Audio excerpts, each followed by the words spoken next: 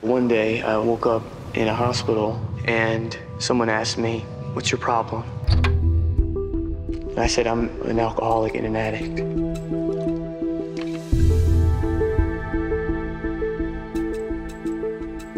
And he said, No, that's how you've been treating your problem. Addiction knows no class, knows no race, knows no boundaries, and it's a modern day crisis.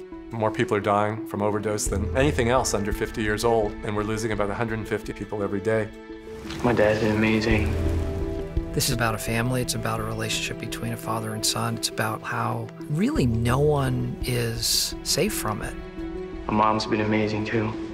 And so this account really brings us into that ground zero of it. It's hard to go to, but yet you leave encouraged that there's hope. I want them to be proud of me.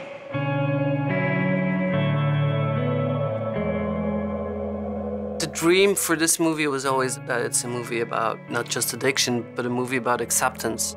This is kind of working out for me right now. I got five days sober. It doesn't look like it's working out, Nick. Oh, it doesn't look like it's working out. So what, then No. therapy, huh? You can come home. No, that we'll wouldn't- make it work, please, Nick. It hopefully will be seen by people and understood as being about encouraging love over judgment, love over shame, and to be loving when you are being challenged. This got out of hand, don't you think? Look, I'm 18, all right? You can't force me. hey.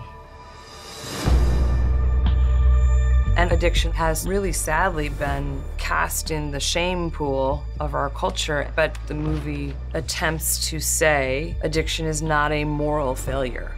A lot of people still feel like addiction is a choice. Addiction is not a choice. I learned that lesson as a dad, desperate to understand what was going on with my son. And the only way we're going to surmount that problem is when we recognize this for what it is as a disease. My son is out there somewhere. I don't know how to help him.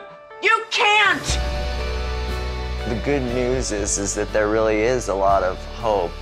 Recovery is possible, not only to recover from this thing, but to actually thrive after addiction. So we were in agreement that it was an important story to tell, and there was a real attempt to make it truthful and honest. That's what me and Timothy and everyone's hoping to portray.